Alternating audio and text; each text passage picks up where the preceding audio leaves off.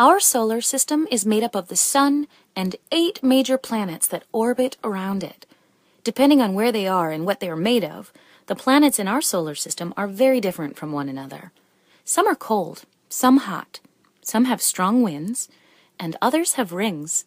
Would you like to live on a different planet? Which one?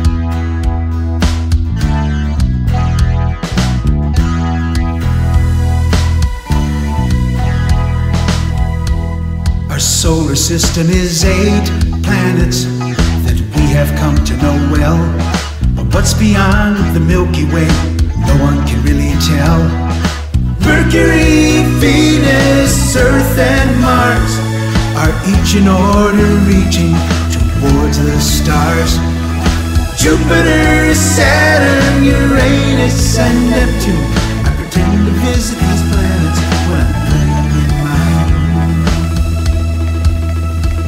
Mercury's the smallest planet, and it's closest to the sun.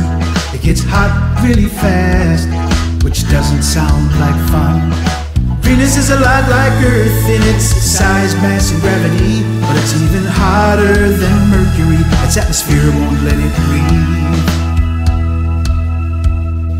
Mercury, Venus, Earth, and Mars are each in order reaching towards the stars. Jupiter, Saturn, Uranus, and Neptune. I pretend to visit these planets when I'm playing in my room. The Earth is next in line from the sun. It's not too hot or cold, just right for having fun. Beyond us, we look to Mars, shining red in the sky. And if you were to visit it, it would take a pretty long time. Mercury, Venus, Earth, and Mars are each in order reaching towards the stars. Jupiter, Saturn, Uranus, and Neptune. I pretend to visit these planets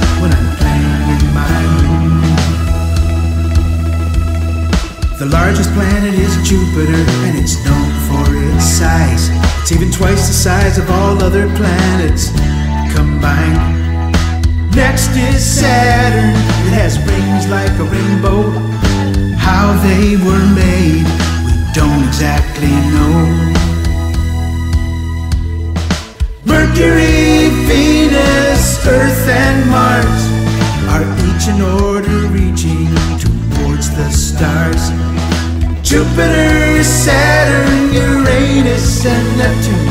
I pretend to visit these planets when I'm playing in my room. Uranus is so far away that its seasons are 20 years long. And Neptune is the farthest, with winds incredibly strong. I pretend to visit these planets when I'm playing in my room.